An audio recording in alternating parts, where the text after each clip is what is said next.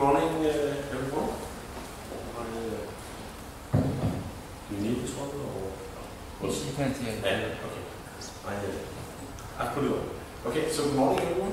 Uh, today we, uh, it's not Tuesday, and if we have a look at the program we put together, this is on, oops, that's actually available as is. It's uh, in a screenshot, so in, in preparing this, we put it on Google Calendar, everything, and of course we didn't realize that uh, there's not so much Google here, right? So, so I put in a screenshot, and uh, that this means we might be a little bit from this. But what we are planning for today is uh, on the various kinds of neutron optics. Uh, we will talk about slits and collimators. That's relatively basic, right? Uh, then we will move to reflecting optics like uh, guides and mirrors and so forth. Uh, on to crystal monochromators, and then rotating optics like disc choppers and velocity selectors. And that's, that's the plan for today.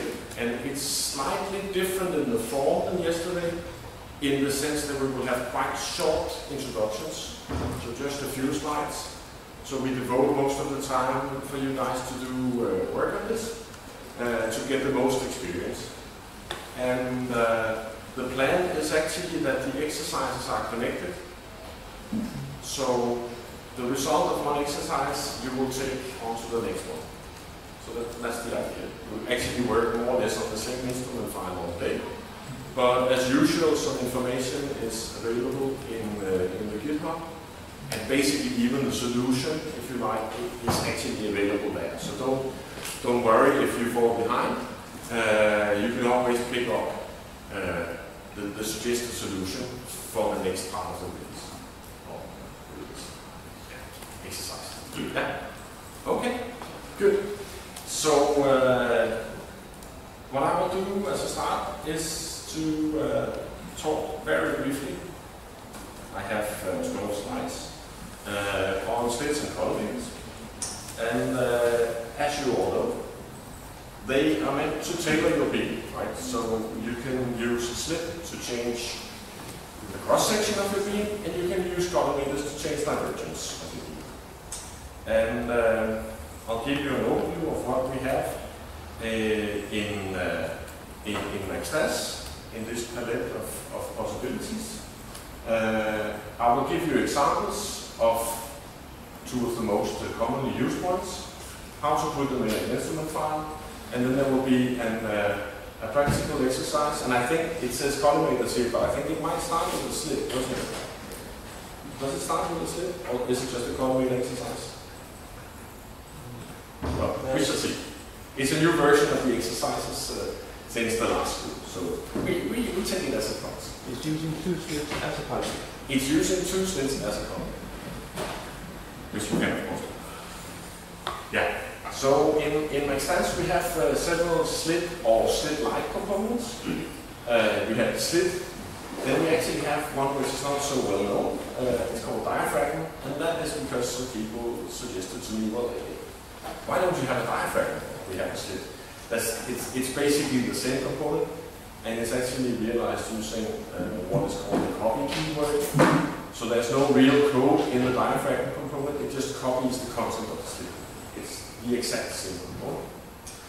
Uh, then you may argue, what does a beam stop?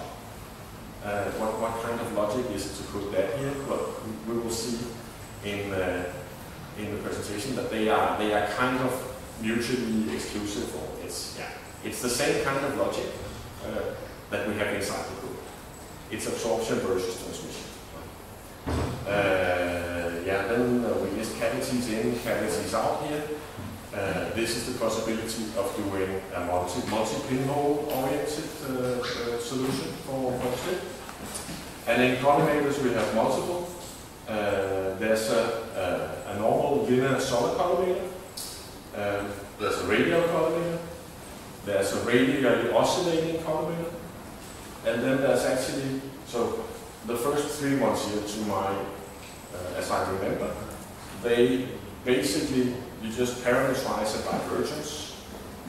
Um, you look whether the neutron is uh, larger than this divergence, and in that case it's, it's disregarded, whereas the exact radial collimator.com actually has definition of all the proper material. So it, it's, it, that is more of a, of a transport of neutrons than the other ones. The other ones are basically a filter in divergence. They are more mathematical, if you like. Um, so, yeah, um, a slit. Uh, so it's a, it's a beam defining diagram. It has this kind of input. Um, so you can specify, uh, as always, uh, we have multiple ways of specifying the geometry. Um, so you either put the width and height, or you put the maximum value of x and y. That's the same. This will both result in, uh, in a rectangular set, or you specify uh, a radius. Um, in, the, in which case it will become a round of course. And what this will, uh, will look like to the beam is essentially this. Um, so the beam is arriving from your end of, uh, of the hall. And in the green areas we will let the, the beam through, meaning that on, on the left we have a, we have a circular slit, and uh, on the right we have a, a rectangular slit. Really, really basic. These are yeah, holes in an absorbing material that will let the beam through. Uh, the beam stop, well that's on the other hand an absorbing area.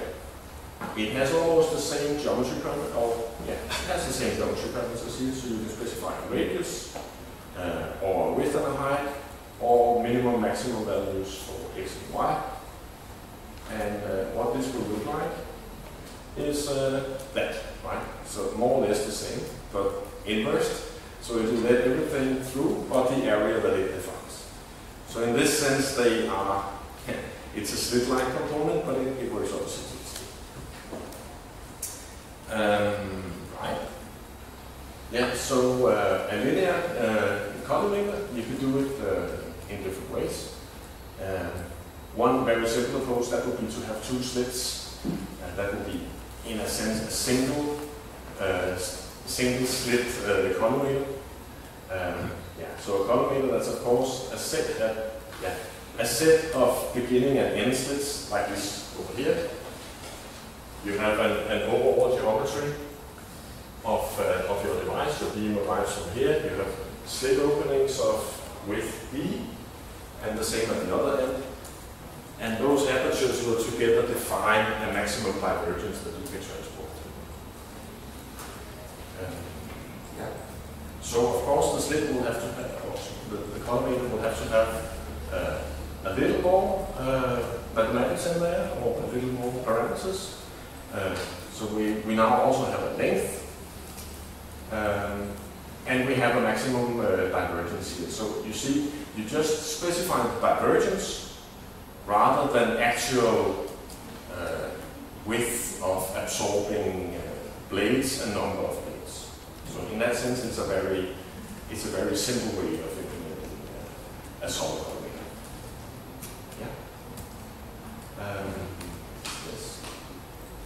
and it has a separated, uh, so the assumption is in fact that that, that you are you're doing a maximum essentially on, on the horizontal divergence but it has a, a, a similar maximal divergence for the vertical divergence. So it, it, means it will actually also implement a grid if you like, but in a, in a very naive way. Then of course we have a radial collimator, which is the same uh, in the terms of the, the, physical device, except that it's it's oriented radially. It's not a set of, uh, of parallel channels. Um, they appear in a radial geometry instead, so you have your power sampling, for instance. And uh, input parameter-wise, it's about the same.